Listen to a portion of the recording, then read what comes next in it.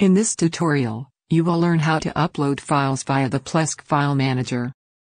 This tutorial assumes you already know how to log into Plesk. If you don't know watch another tutorial how to log into Plesk. In the left sidebar of your Plesk account, click on the Files option. On the left side of this interface, there is a list of directories, click to open the HTTP docs directory. In the File Manager interface, there are options at the top bar that perform different tasks.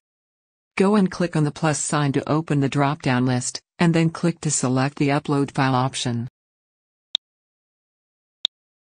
It opens a browser window that allows you to select files from your local machine. Click to select the file you want to upload then click on the Open button of this window.